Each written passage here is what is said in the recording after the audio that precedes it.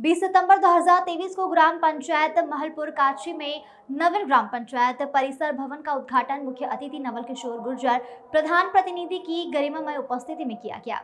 इस अवसर पर प्रधान प्रतिनिधि द्वारा ग्राम पंचायत में प्रधान मत से कराए गए विकास कार्य सरकार द्वारा चलाई जा रही महत्वपूर्ण योजनाओं के बारे में उद्बोधन दिया गया। सरपंच निहाल सिंह एवं समस्त वार्ड पाँचों द्वारा सभी उपस्थित जनों का स्वागत एवं आभार किया गया।